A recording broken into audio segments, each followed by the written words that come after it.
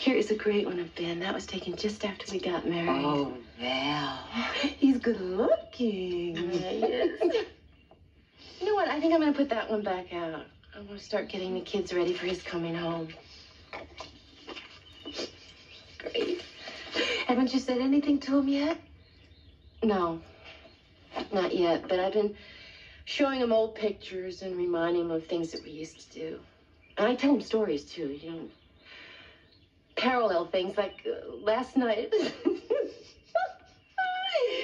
Last night was about how Daddy Raccoon got lost in the forest. Oh. but then he found his way back again. Oh, good. well, do you know when he's coming back? Mm. No, not exactly yet. oh, excuse me.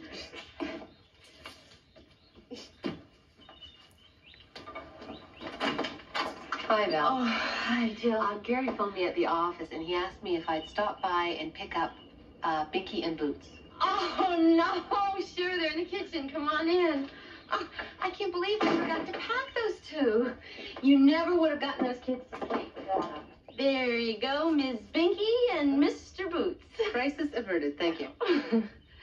Oh, would you like some wine? Pat and I are, uh, I'm trying to relish my grown-up time. Uh, thank you, no, Val. I promised Gary I'd stick to water. Oh, okay. Water it is.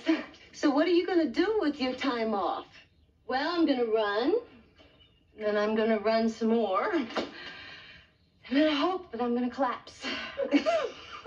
I'm serious. I think you should go out and play. I'm serious too. I wish I could play, but I've been so, I don't know, uptight lately. I can't just seem to go to sleep.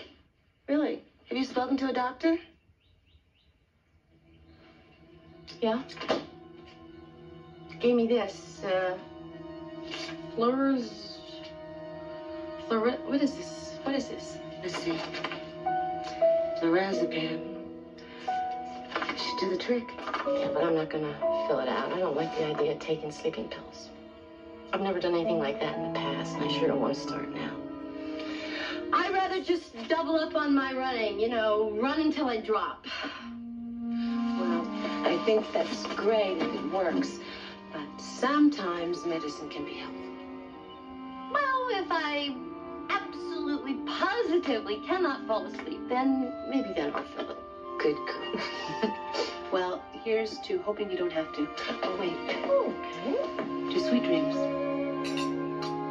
I'll drink to that.